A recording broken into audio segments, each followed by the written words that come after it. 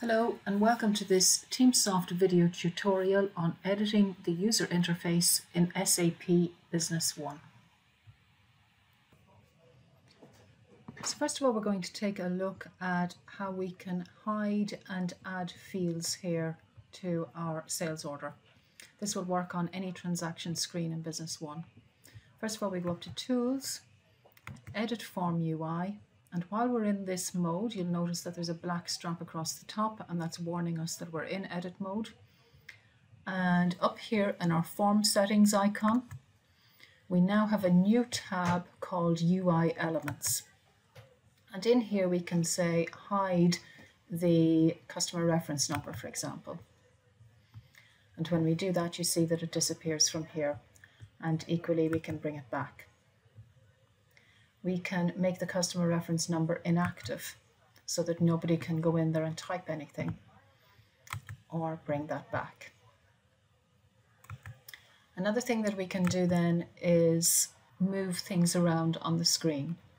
So for example, if for some reason we wanted the status to be more prominent, we can click on it and hold it until it changes shape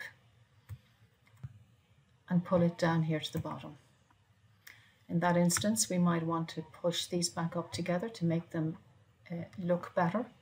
So we right click and select them all, use our align feature and align them to the top.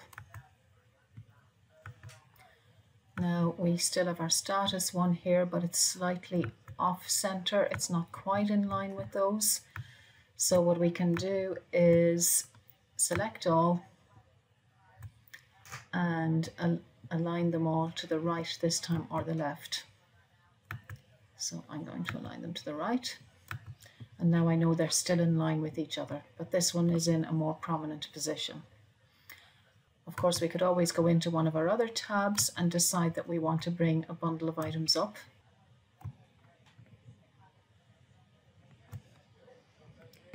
And have them appear on the top of our screen also.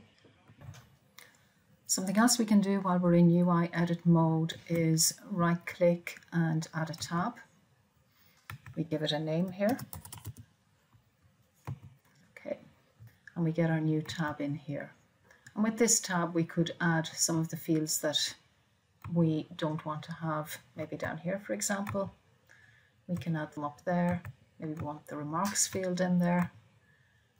We can bring that up there as well.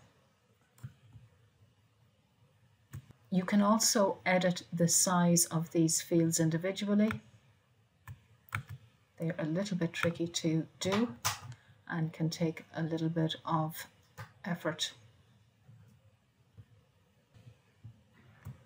And then something else we should be aware of, at any time when we right click we can choose to save or to leave UI edit mode.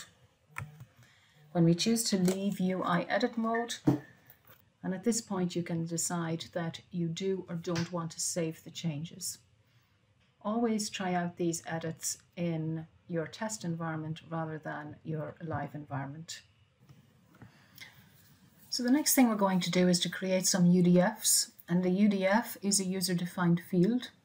We do this with tools, customization tools, and user-defined fields management.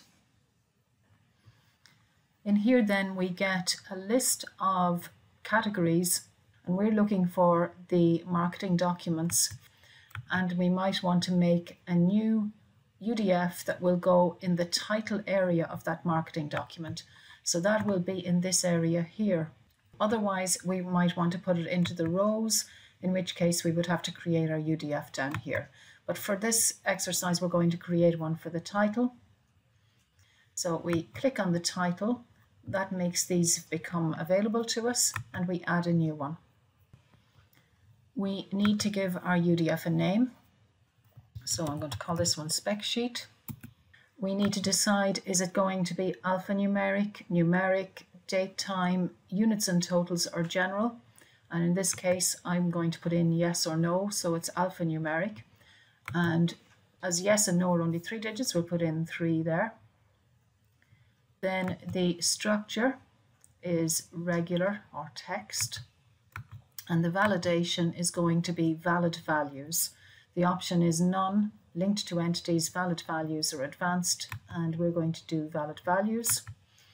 And we're going to create a new one, add another one. And here we can set a default value for the field. So the default value will be no. And is it a mandatory field, yes or no? And we're just going to leave it as it is. And then we're going to add. The database structure has been modified in order to resume. All windows will be closed. Do you want to continue? Yes. And there are other companies logged in. Now I'm going to ignore because this is in our test system, but you should check what's happening there.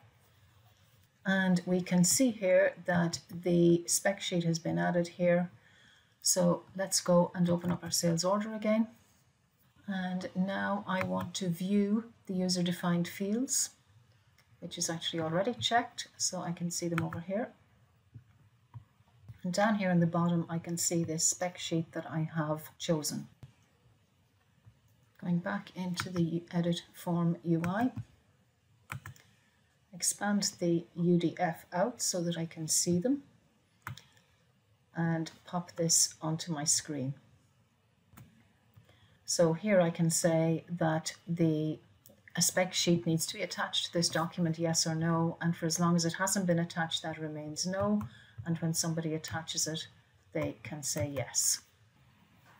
Now I left that UI edit mode and I didn't save, so my spec sheet is not up here now, but I wanted to come back to it just because the spec sheet remains down here and I can change the value down here once I'm out of UI edit mode, but I'm when I'm creating another sales order. So it is possible to leave them over here on the right hand side if you needed to.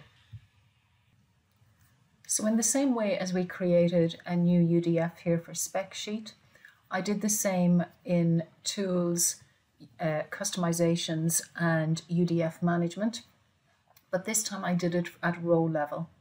And what that means is now when I'm in one of my marketing documents, I can go into form settings I can go to my table format and when I scroll down I'll see this one that I just created and it's called subject to fees. And it's it's been added to my document here. So when I scroll to the extreme right I can see that the subject to fees is available for me here and it has defaulted to N for no and I went back in and populated this document and added an item to it and now when I scroll to the right we'll see that I have that drop down menu here for me and it's either yes or no. So subject to fees, yes or no. So that brings us to the end of this introduction to editing the user interface with SAP Business One.